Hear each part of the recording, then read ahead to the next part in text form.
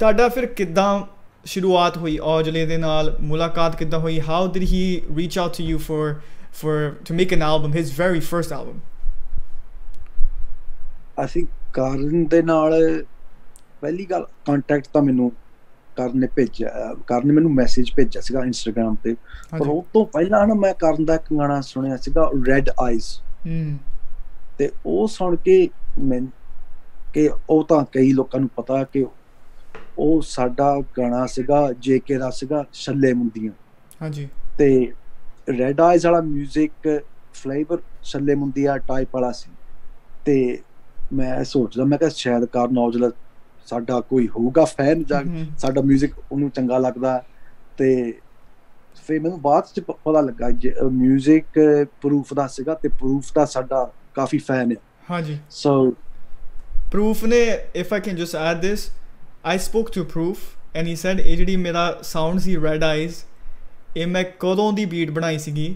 ਤੇ ਕਹਿੰਦਾ, ਮੈਂ ਹਰ ਇੱਕ ਆਰਟਿਸਟ ਨੂੰ ਸੁਣਾਉਣਾ ਸੀਗਾ ਤੇ ਕਿਸੇ ਨੂੰ ਪਸੰਦ ਨਹੀਂ ਆਉਂਦਾ ਸੀਗਾ ਇਹ ਸਾਊਂਡ ਤੇ ਕਰਨ ਔਜਲੇ ਨੇ ਪਸੰਦ ਕੀਤਾ ਸੀਗਾ ਤੇ ਉਹ ਕਹਿੰਦਾ ya want it that's something that he said ਤਾਂ ਪ੍ਰੂਫ ਉਹ ਬਹੁਤ ਸਾਲਾਂ ਤੋਂ ਸਾਨੂੰ ਮੈਸੇਜ ਭੇਜਦਾ ਰਿਹਾ, ਉਹ ਬਹੁਤ ਵੱਡਾ ਫੈਨ ਹੈ ਸਾਡੇ 뮤직 ਦਾ। ਸੋ ਫਿਰ ਮੈਨੂੰ ਫਿਰ ਮੈਨੂੰ ਬਾਅਦ ਚ ਪਤਾ ਲੱਗਾ ਕਿ ਉਹ ਮੁੰਡਾ ਜਿਹੜਾ ਸਾਨੂੰ ਮੈਸੇਜ ਭੇਜਦਾ ਹੁੰਦਾ ਸੀਗਾ ਫੇਸਬੁੱਕ ਤੇ।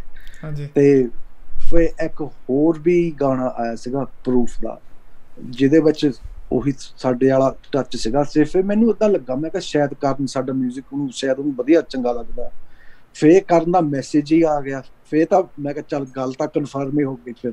ਤੇ ਕਰਕੇ ਮੈਨੂੰ ਤਾਂ ਸ਼ੱਕ ਸੀ ਨਾ ਇਦਾਂ ਤੇ ਕਰਨ ਨੇ ਫਿਰ ਦੱਸਿਆ ਸੀ ਲੋਕ ਮੈਂ ਤੁਹਾਡਾ ਬਹੁਤ ਫੈਨ ਆ ਬਹੁਤ ਗਾਣੇ ਸੁਣੇ ਆ 뮤직 ਪਸੰਦ ਹੈ ਵਧੀਆ ਲੱਗਦਾ ਸੋ ਸੋ ਕਰਨ ਦਾ ਮੈਸੇਜ ਹੀ ਆ ਗਿਆ ਸੀ ਫਿਰ ਤਾਂ ਗੱਲ ਕਨਫਰਮ ਹੋ ਗਈ ਕਨਫਰਮ ਹੋ ਗਈ ਸੀ ਕਿ ਕਾ- ਕਰਨ ਹੈਗਾ ਫੈਨ ਸਾਡਾ ਥੋੜਾ ਸੋ ਤੇ ਕਰਨ ਨੇ ਆਪ ਗੱਲ ਕਹੀ ਸੀ ਕਹਿੰਦਾ ਮੈਂ ਬਹੁਤ ਤੁਹਾਨੂੰ ਤੁਹਾਡੇ 뮤직 ਨੂੰ ਸੁਣਿਆ ਪਸੰਦ ਕਰਦੇ ਆ ਅਸੀਂ ਐਂਡ ਸਾਰੇ ਐਲਬਮ ਸੁਣੇ ਆ ਬੈਕ ਟੂ ਬੇਸਿਕ ਸਾਰਾ ਕੁਝ ਸੁਣਿਆ ਸੀਗਾ ਜੇਕੇ ਦੇ ਗਾਣੇ ਕਰਨ ਨੇ ਇਹ ਗੱਲ ਕੀਤੀ ਸੀ ਕਿ ਆਪਾਂ ਕੁਝ ਕਰ ਸਕਦੇ ਆ ਸ਼ਾਇਦ ਸਿੰਗਲ ਤੇ ਮੈਂ ਸਿੰਗਲ ਮੈਂ ਦਾ ਲਾਈਕ ਨਹੀਂ ਕਰਦਾ ਸਿੰਗਲ ਟਰੈਕਸ ਕਰਕੇ ਮੈਨੂੰ ਸੈਟੀਸਫੈਕਸ਼ਨ ਨਹੀਂ ਹੁੰਦੀ। ਮੈਂ ਐਲਬਮਸ ਬਣਾਉਣ ਚ ਜ਼ਿਆਦਾ ਉਹਦੇ ਵਿੱਚ ਐਕਸਪ੍ਰੈਸ਼ਨ ਹੁੰਦੀ ਹੈ ਨਾ ਜ਼ਿਆਦਾ।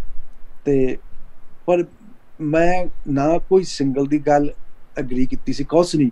ਮੈਂ ਇੰਨੀ ਇੰਨੀ ਗੱਲ ਕਹੀ ਸੀ ਕਦ ਨੂੰ ਆਪਾਂ ਫੋਨ ਤੇ ਆਪਾਂ ਗੱਲ ਕਰਦੇ। ਤੇ ਆਪਾਂ ਫੇਸ ਟਾਈਮ ਕੀਤਾ ਸੀਗਾ। ਤੇ ਫਿਰ ਮੈਂ ਇਦਾਂ ਦੇਖਦਾ ਹੁੰਦਾ ਕਿ ਸਾਡੀ ਜੇ ਪਰਸਨੈਲਿਟੀਆਂ ਮਿਲਦੀਆਂ ਜੇ ਵਧੀਆ ਵਾਈਬਸ ਆਉਂਦੇ ਆ ਫਿਰ ਆਪਾਂ ਕੁਛ ਕਰ ਸਕਦੇ ਤੇ ਕਰਨ ਦੀ ਪਰਸਨੈਲਿਟੀ ਮੈਨੂੰ ਬਹੁਤ ਵਧੀਆ ਲੱਗੀ ਸੀ। ਹਾਂਜੀ। ਬਹੁਤ ਵੈਰੀ ਬਹੁਤ ਰਿਸਪੈਕਟਫੁਲ ਆ ਬਹੁਤ ਚੰਗਾ is a really good guy ਤੇ ਸਾ- ਤੇ ਕਰਨ ਨੂੰ ਹੁਣ ਲਾਈਕ ਡੇਢ ਸਾਲ ਹੋ ਗਿਆ ਉਹਨਾਂ ਗੱਲਾਂ ਕਰਦੇ ਨੂੰ। ਤੇ ਉਹਦੇ ਬਾਰੇ ਮੈਂ ਇੱਕ ਗਲਤ ਗੱਲ 네ਗੇਟਿਵ ਗੱਲ ਕੋਈ ਕਹਿ ਹੀ ਨਹੀਂ ਸਕਦਾ ਉਹਦੇ ਬਾਰੇ। ਤੇ ਇੰਨੀ ਰਿਸਪੈਕਟ ਕਰਦਾ ਇੰਨੀ ਰਿਸਪੈਕਟ ਨਾਲ ਬੋਲਦਾ ਆ। ਸਿਰਫ ਸਿਰਫ ਮੈਨੂੰ ਨਹੀਂ ਕਰਕੇ ਉਹ ਸਾਡਾ ਤਾਂ ਕਾਫੀ ਏਜ ਗੈਪ ਆ। ਜਸਟ ਚੁਗਲੀਆਂ ਨਹੀਂ ਕਰਦਾ ਇਦਾਂ ਜਾਂ ਕੋਈ ਕਿਸੇ ਬਾਰੇ ਇਦਾਂ ਗਲਤ ਬੋਲਦਾ ਹੀ ਨਹੀਂ ਲਾਈਕ ਸੋ ਮੈਨੂੰ ਉਹਦੀ ਪਰਸਨੈਲਿਟੀ ਬਹੁਤ ਚੰਗੀ ਲੱਗੀ। ਸੋ ਫੇਰ ਕਰਨ ਨੇ ਗੱਲ ਕਹੀ ਸੀ ਕਿ ਆਪਾਂ ਸਿੰਗਲ ਟਰੈਕ ਕਰ ਸਕਦੇ। ਫੇਰ ਪਤਾ ਨਹੀਂ ਮੈਂ ਕਹਤਾ ਮੈਂ ਕਿ ਸਿੰਗਲ ਨੂੰ ਛੱਡ ਮੈਂ ਕਿ ਜਾਂ ਐਲਬਮ ਹੀ ਕਰਕੇ ਦੇਖ ਲੈਂਦੇ।